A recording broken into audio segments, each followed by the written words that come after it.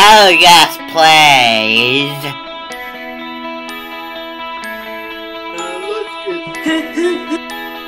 Seven seventy.